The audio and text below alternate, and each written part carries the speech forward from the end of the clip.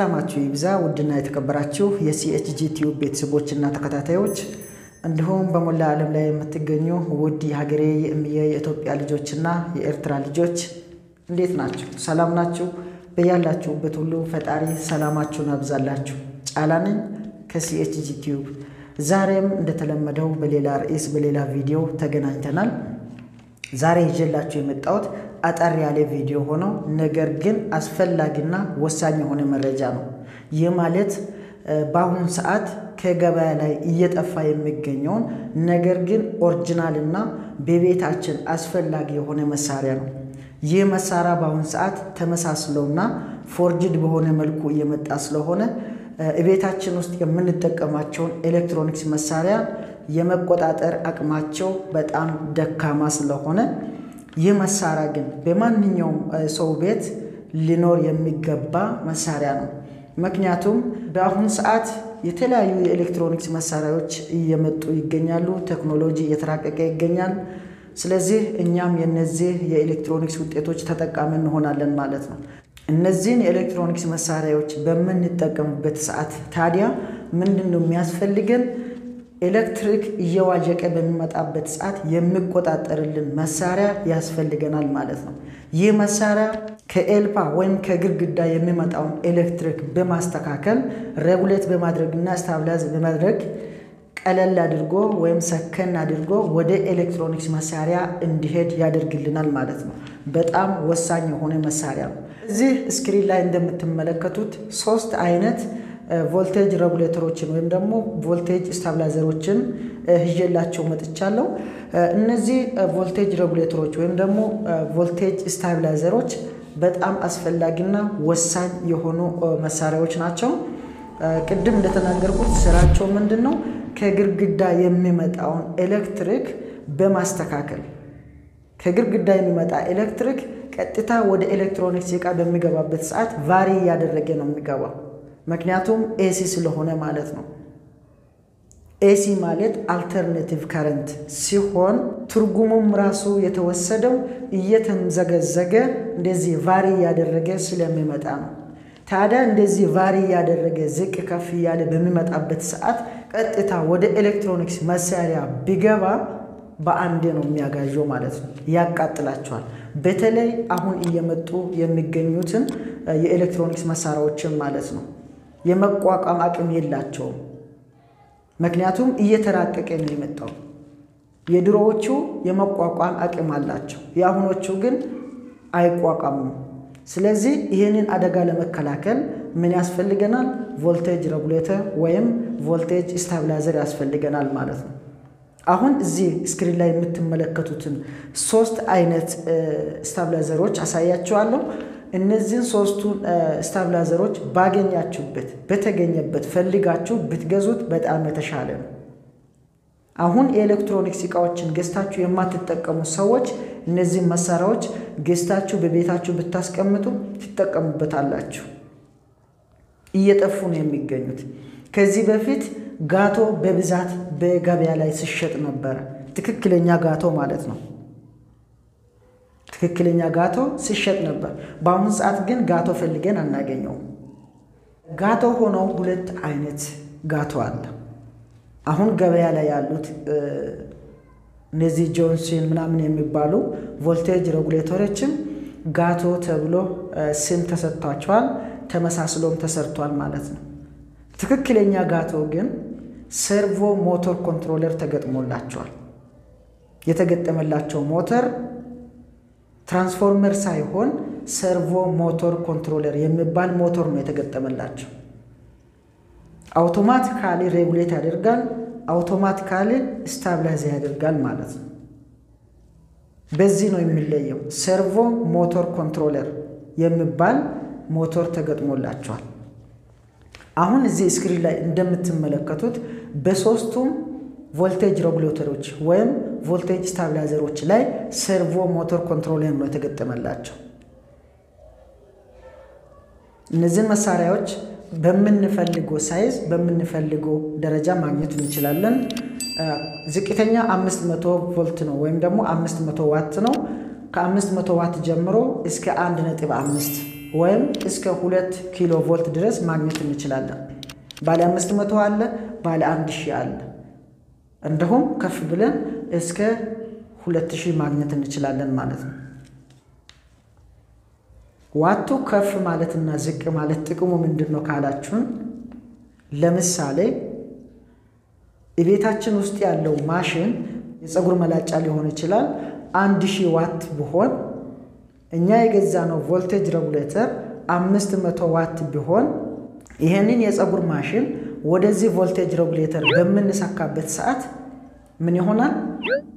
በአንጻሩ voltage regulator ኡ ይቃጠላል ማለት ነው። ምክንያቱም ከሱ በላይ material ስለተጠቀመ voltage regulator ኣችን አምስት መቶ ዋት ነው። የተጠቀምነው መሳሪያ ግን አንድ ሺህ ዋት ነው። ስለዚህ እሱ የሚፈልገውን ቮልት ማውጣት ስለማይችል ሞተሩ ይጨናነቅና ይቃጠላል ማለት ነው። ይህ ነገር በእነዚህ በ original ኦቹ ላይ ግን ምን ይሆናል?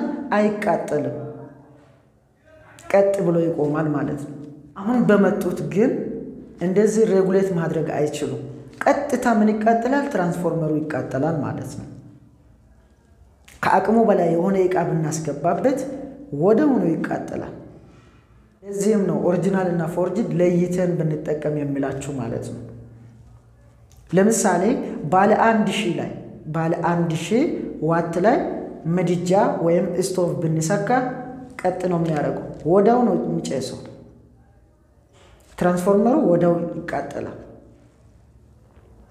ምክንያቱም ምድጃ በኪሎ ቮልት ነው የሚላካው እንጂ በዋት ብቻ አይላካም። ስድስት ኪሎ ቮልት ሊሆን ይችላል፣ ሶስት ኪሎ ቮልት ሊሆን ይችላል። በዋት ስንላካው ደግሞ ሶስት ሺህ ስድስት ሺህ ዋት ሊሆን ይችላል ማለት ነው። ስድስት ሺህ ዋት ወደ አንድ ሺህ ዋት ብንሰካው ምን ያደርግብናል? ወዲያውኑ ያቃጥልብናል ማለት ነው።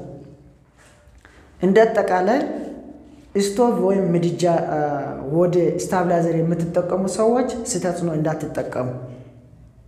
አይደለም ስቶቭ ከፍ ያሉ ፍሪጆችን ከፍተኛ ቮልቴጅ የሚወስዱ ወይም ደግሞ ከፍተኛ ዋት ያላቸው ፍሪጆችን ወደ stabilizer አይመከርም።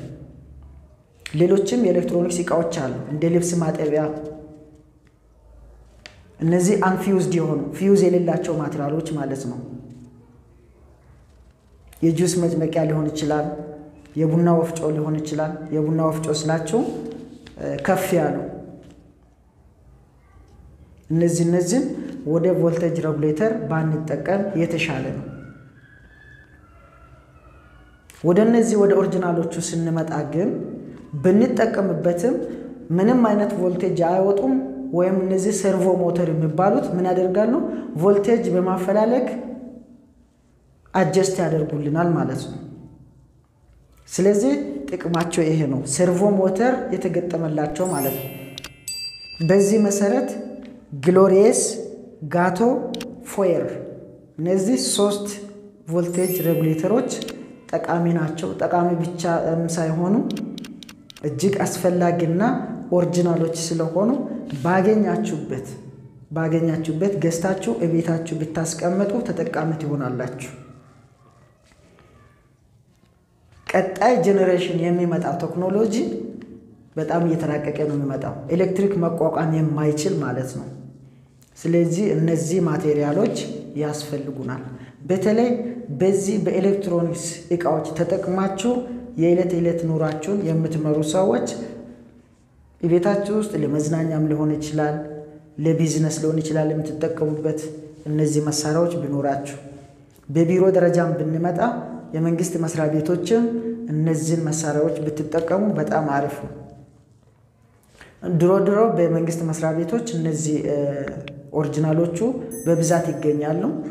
አሁን ነው ቴክኖሎጂ እየተራቀቀ ሲመጣ እነዚህ forged ኦች የመጡት ማለት ነው። እና እነዚህን ጠቆማ ለማድረስ ነው።